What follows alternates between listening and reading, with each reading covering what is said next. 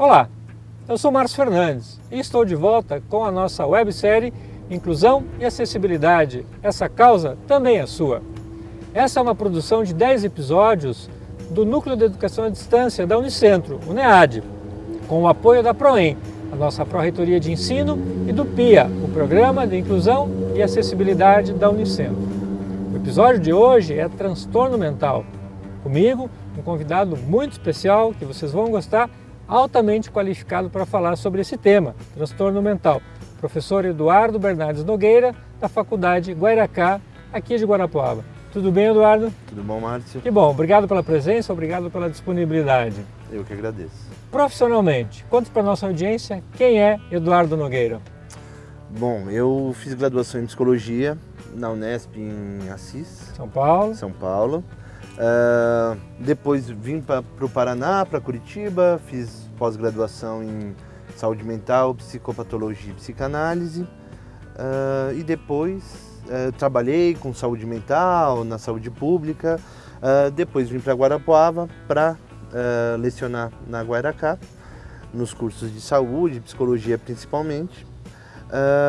então minha formação foi toda na área da psicanálise e da saúde mental, né? E atualmente estou, continuo na Guaracá, uh, faço parte do Bergasse 19, que é um espaço de psicanálise, uh, e trabalho uh, como supervisor em Prudentópolis também, na área de saúde mental. Na área de saúde. Muito bem, eu disse que ele era bem qualificado, vocês acabaram de ver e ouvir. Eduardo, o que é o conceito de transtorno mental, também chamado de sofrimento psíquico? Legal. Bom, o, o, o, transtorno mental ele é um, um, um, grupo amplo que é caracterizado como uma síndrome uh, que tem como principal característica alguma perturbação significativa uh, na área cognitiva, emocional ou comportamental.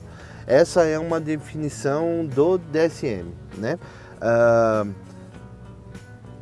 o que mais importa é que essa perturbação provoca sofrimento.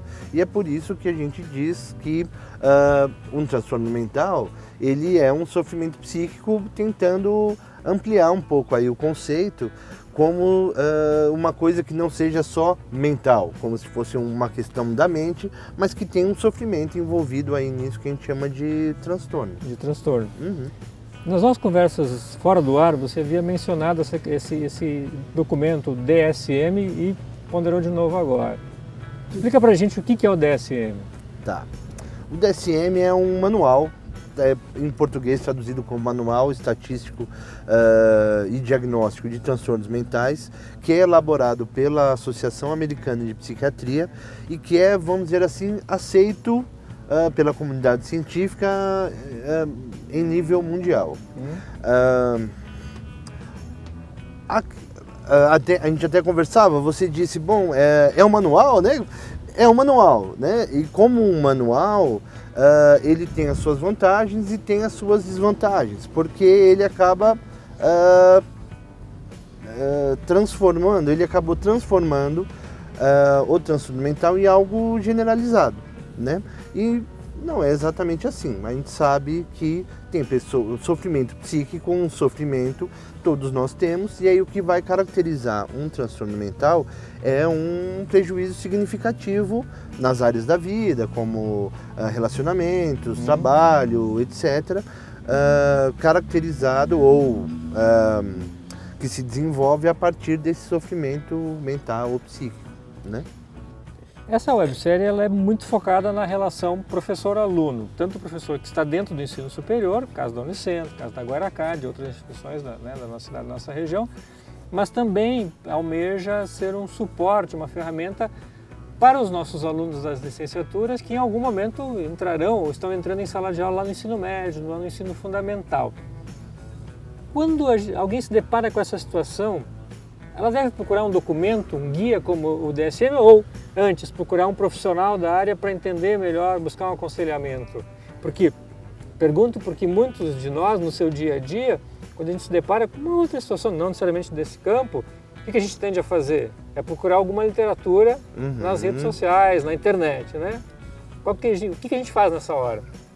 Boa, boa pergunta, uh, Márcio. É, Não, não faça isso. né? Procurar um Assim, especialista. É, isso, né? Assim, é, gostaria de fazer uma diferenciação aqui, algo que a gente vai ainda conversar hoje, mas tem uma diferenciação que eu acho bem importante, que é a função do educador. E a função do educador não é tratar, né? É, eu comentei com você a questão do, do manual e como manual faz diferença como ele é manuseado, né? E alguém inexperiente que vá ah, utilizar o DSM ou qualquer outro manual para diagnosticar vai ah, meter os pés pelas mãos Vai ser incompleto. vai ser incompleto, vai ser impreciso, vai ser ah, apenas um rótulo que às vezes a, a pessoa encontra e aí isso é um problema gravíssimo que a gente tem enfrentado, né? Ah, até como você disse, com o acesso que as pessoas têm com a internet, às vezes a gente tem um, uma super um super diagnóstico de alguns de alguns transtornos quando eh, não é verdade, né? Ah, essa diferenciação acho que é bem, bem importante porque às vezes o próprio educador se sente cobrado de Claro, dar uma resposta ou de conseguir diagnosticar né, um transtorno ou outro quando a função dele não é essa. Eu acho que o que é importante sacar é que é um sofrimento aí envolvido, mas que não é a função dele como professor diagnosticar, mas olhar para isso e aí conseguir arrumar parceiros, ah, aumentar aí a rede de relações para ah, dar um encaminhamento ou um tratamento adequado. Adequado. Mas né? ele não. Sozinho, né? não. Não, é como o médico fosse ah, dizer de como o professor deve manejar a didática em sala. Não, não faz sentido. Não né? procede, né? É, um outro ponto que nós podemos abordar diz respeito às síndromes. Síndromes psicóticas, síndromes ansiosas e síndromes maníacas e depressivas. Uhum. É possível é, é, caracterizá-las, conceituá-las nos seus aspectos mais fundamentais? Sim. Veja, mas essas, o- os transtornos mentais, eles, como, como eu disse anteriormente, é um grupo ah, muito grande de, de, de tipos e etc. Ah, vai desde transtornos alimentares até ah, os transtornos psicóticos, ah, toque, etc. Para facilitar, ah, alguns autores trabalham com essa ideia das grandes síndromes, que são as que têm maior prevalência na população, né? Vamos dizer assim. Que são essa a, a- síndrome psicótica, ah, que seria aí caracterizado por, ah, por alucinação, delírios, alguns fenômenos de estranhamento com o corpo ou estranhamento com a, a própria noção de eu. Né, às vezes um, um- assim, uma característica das, da- das síndromes psicóticas, às vezes um, um- um- resguardo maior nas relações sociais, uma dificuldade de estabelecer ah, vínculos afetivos pode aparecer e tal. Ah, as síndromes ansiosas, que se a gente for parar para pensar, é uma regra praticamente na nossa sociedade atual, que são ah, os transtornos mentais que têm por centro a vivência da ansiedade, né? Seja um medo muito intenso, por exemplo, como a síndrome do pânico, seja estados ansiosos, como ah, ah, transtorno de estresse pós-traumático, ansiedade generalizada, ou seja, um sentimento de ah, ah, de estar em perigo, né? Ou uma preocupação excessiva com o futuro. Mais ou menos isso caracterizaria as síndromes ansiosas. E as síndromes, a gente pode dizer, depressivas ou maníacas, que são aquelas talvez ligadas a, ao transtorno bipolar e tal, né? Ah, a síndrome depressiva, que envolve ah, aspectos de tristeza intensa, Uhum. ah, apatia, falta de interesse, que também é um fenômeno muito presente nos nossos dias, né? Você mencionou agora, no final da sua fala, essa questão de falta de interesse. No ambiente universitário em que, nós vivemos, com alguma frequência a gente se depara com docentes mencionando isso, né? uma, uma alegada falta de interesse do alunado, que passa por uma transformação enorme do ensino médio para o ensino superior, que é muito jovem, né? nós temos alunos que entram com 16, 17 anos Assim, claro que é uma resposta, uma pergunta genérica e uma resposta né, ampla também. Isso é normal, digamos assim, essa falta de interesse, aparente falta de interesse, isso é da idade ou é ainda é, é parte de um processo de adaptação do ensino médio para o ensino superior ou de fato é algo que precisamos ter cuidado logo no início da, da vida universitária? Tá. É, bom, é um, é, é, é um ponto uh, bem complexo porque ele é multiaxial mesmo, assim, né? Ele tem uma série de fatores que, que contribuem. Uh, seria muito difícil dizer. Eu acho que o importante é fazer essa diferenciação entre, por exemplo, alguém que não está com interesse nenhum pela vida, né? Que aí é, não é, só no meio não só no meio universitário, vida, né? pela vida, né? Que pode ser uma experiência de sofrimento mais intensa uh, e que é diferente daquele que está desanimado com uh, a vida acadêmica, o curso e etc. Né? Uh, não sei como que é a sua experiência, talvez você pudesse uh, dizer também, uh, mas a minha assim, experiência diz que, olha, as pessoas que entram às vezes com mais idade na, num curso superior, elas tendem a ter menos essa experiência da, do desânimo, né? Porque entram às vezes já sabendo, olha, eu quero mesmo fazer esse curso, me interessa, vai se enquadrar assim na minha vida. Os jovens às vezes né? Eu tenho estudantes que entram com uh, 17, 16 Exato. anos. Que, que sabemos aos 16 anos, né? Eu me lembro, sabia muito pouca coisa, né? Para conseguir escolher uma carreira, o que eu quero no futuro. E a gente exige, às vezes, dos, dos jovens isso, né? Olha, você tem que ser determinado e saber aonde você quer chegar. Não, não dá para cobrar isso dos jovens, né? Uh, mas considerar isso, né, da juventude, uhum. desse momento de transformações, eu acho que é essencial para a gente conseguir uh, ressignificar essa experiência universitária, né, uh, de o, o que eu o que eu quero construir para o meu futuro, enfim, essas perguntas estão sempre em pauta, né? E precisam ser, estar em pauta. Estar em pauta, exato, e serem escutadas. Né? Muito bom, Eduardo. Só um dado de referência antes de chamar o intervalo. Você mencionou essa questão da idade de, de entrada dos alunos. Há uma estatística que diz que no ensino presencial brasileiro, a média de entrada é 18 anos. Na educação à distância, que é esse universo onde nós estamos gravando a nossa websérie, uhum. é 28 anos a entrada. 28 anos. Uhum.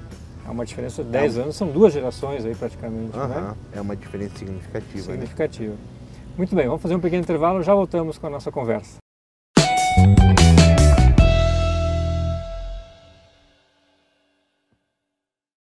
Estamos de volta com a nossa websérie Inclusão e Acessibilidade, essa causa também é sua.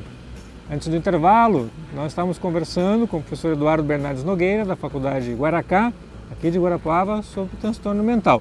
Ele continua conosco por mais um bloco para que a gente possa avançar nesta questão. Eduardo, nessa segunda parte, o foco está na relação de aprendizagem, não é? o, dizer, o ambiente escolar é possível diferenciar os principais transtornos de aprendizagem com outros tipos que, inclusive, você mencionou antes do intervalo? Uhum.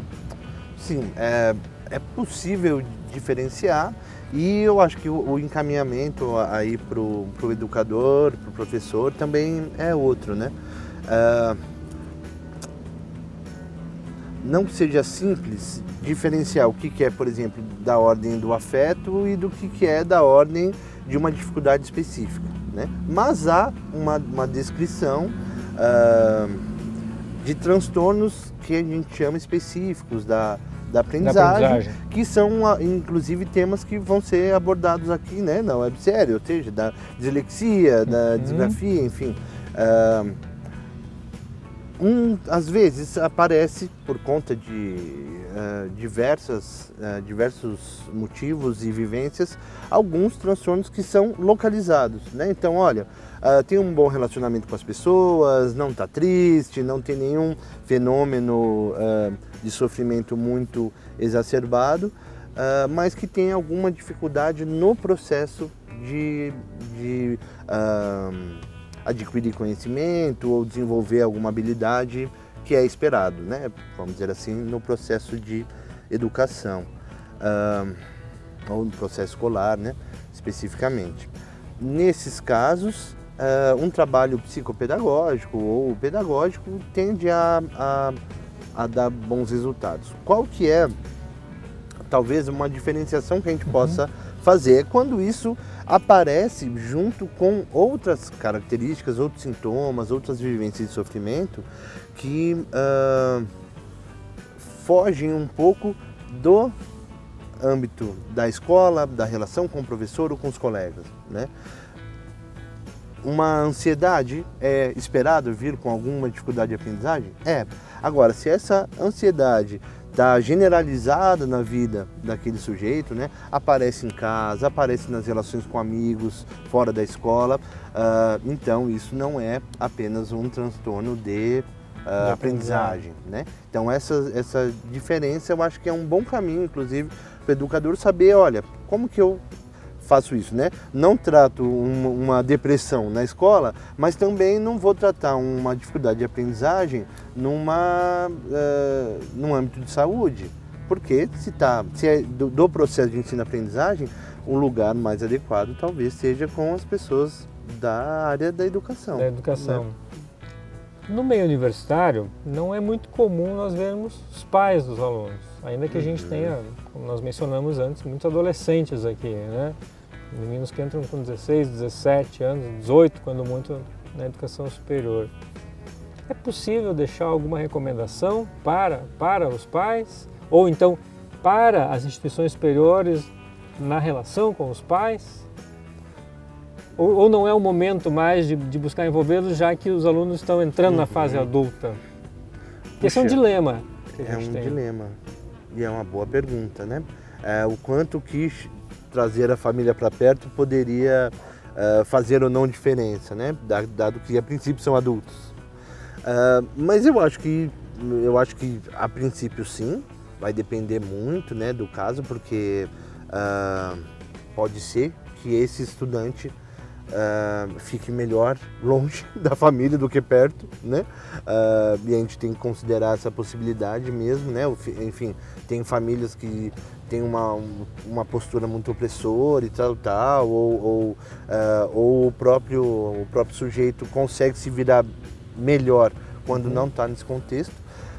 Mas eu acho que em muitos casos, sim, né? Em muitos casos é, tem algo que a família pode ajudar e que não consegue ver ou não consegue aceitar. E nesse processo eu acho que a universidade pode pode estar tá presente. A gente costuma fazer isso, né? Ou esperar isso na, no ciclo básico isso. e tal. E na universidade a gente acha que não precisa, não precisa né? mais. E eu acho que não é exatamente assim, né? A gente trabalha com com adolescentes e vão, e vão precisar. Eu acho que em muitos casos seria é, muito importante. Adequado, né? Muito importante. Muito bem, fica a recomendação para, para as instituições, para os docentes, para né, as equipes, enfim, que cuidam de aspectos pedagógicos da, da vida do aluno. Alguma recomendação final sobre essa questão do transtorno mental? Né? A conversa você delimitou tecnicamente muito bem diversos pontos, né? Uma mensagem final tanto para os professores quanto para os alunos, ou um ou outro? Sim.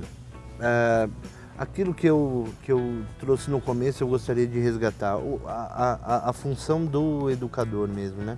É, a função do educador não é tratar, Uh, e, e, e, me parece que às vezes uh, se espera, principalmente no ciclo básico, eu acho que nem, nem tanto no, no, no, ensino superior, mas no ciclo básico é esperado que o professor dê conta de toda a realidade do aluno e não vai dar. Né? Não é justo a gente pedir isso. O próprio professor tem que, uh, acho que, entender isso. A função dele não, não é essa. Né? Isso não quer dizer que ele não tenha nada a ver com essa história, óbvio. Uh, talvez a função dele seja conseguir perceber essas vivências de sofrimento e conseguir uma primeira articulação, né, uma primeira uh, ampliação da rede para que, se caso precisar de um tratamento especializado ou uma conversa com a família, para que isso possa se, uh, se iniciar. Né? Mas não é função dele diagnosticar, não é função dele dar conta desse sofrimento, uh, mas sim saber como que esse sofrimento pode ser tratado se necessário e como esse sujeito que vivencia esse sofrimento pode continuar o seu processo de aprendizado sem precisar desistir ou sem sim. aumentar a angústia, né? Uh, e eu acho que isso aí tem as, as, as artimanhas, as soluções, as estratégias do próprio professor. Se uh, esse sofrimento que esse estudante passa é algo que possa ser uh, manejado, né? Por exemplo, uma ansiedade frente a provas, uh, né? Tem, tem gente que passa muito mal, né? Uma ansiedade enorme nas avaliações e tal. O professor tem algumas estratégias para uh, não, não necessariamente modificar o que o aluno tem que aprender ou não tem que aprender, mas o como que ele vai uh, fazer as avaliações e tal, tal, tal. Isso é algo possível, né? Uh, agora, se uh, o estudante apresenta, por exemplo, uma depressão grave, em que ele não consegue mais circular, não consegue mais estar no espaço acadêmico e tal, não é algo que o professor vai resolver sozinho, né? Ele talvez seja a pessoa que consiga perceber isso e dar o primeiro passo, mas ele não é responsável por fazer este estudante não ser mais depressivo. Depressivo, né? Seria exigir demais. Sempre tem uma. Minha mulher me, me disse uma, uma, uma frase esses dias que eu achei interessante. Ela disse: a transferência que o educador tem é com a educação. Uh, às vezes tem alguns estudantes que a gente tem mais empatia, uhum. outros que tem menos, mas a gente uh, tem que lembrar disso, que é, é com o processo de descoberta do mundo e tal, tal, que a gente tem transferência, né?